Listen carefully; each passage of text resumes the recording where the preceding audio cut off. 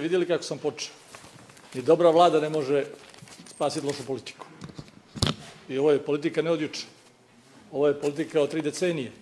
Da ne citiram članove vaše vlade da su to tada nazvali autokratijom i oligarhijskom vladanjem DPS. Imam citat, tu imam knjigu, daću vam da je ponesete.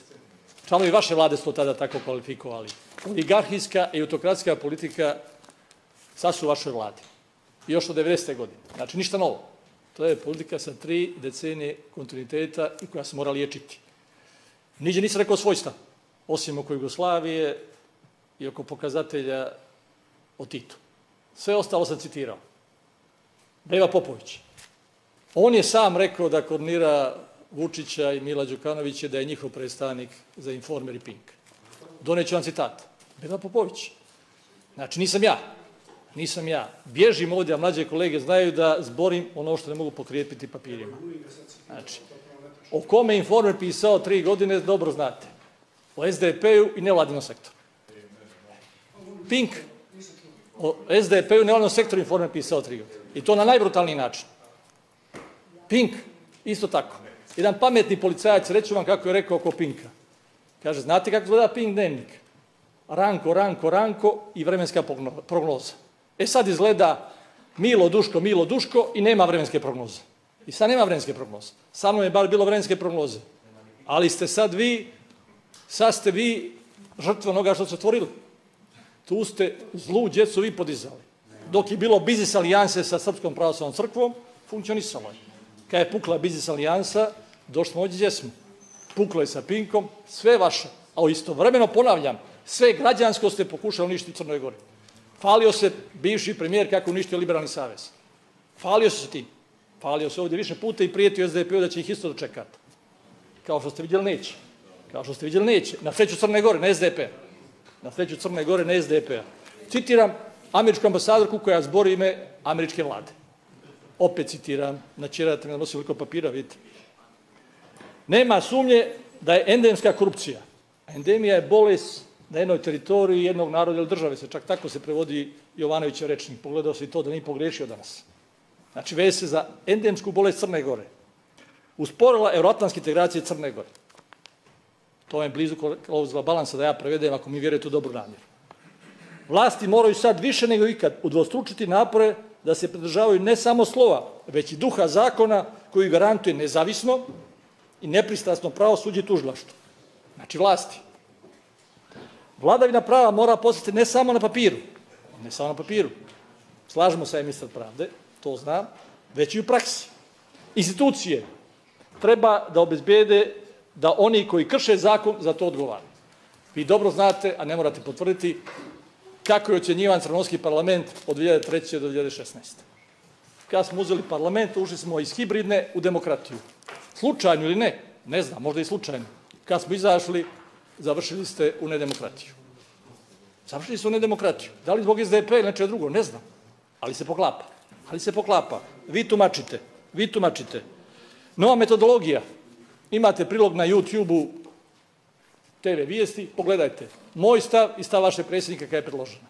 Pa ste vidjeti ko je bio za metodologiju odmah, a ko je bio za metodologiju, odnosno protiv metodologije odmah. E sad, što je rekao djede Avram kad se sjedu u Savjeznom parlamentu, kad ga već Milošević puštio niz vodu, rekao je, znate kako se vodi srpska politika?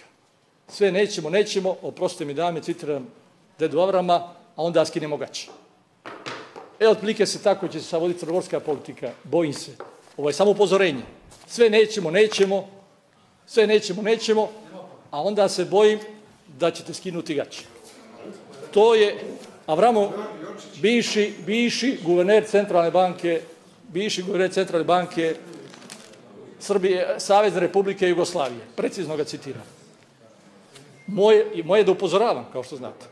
Nema moć niti želju bez da upozoravam i da brine.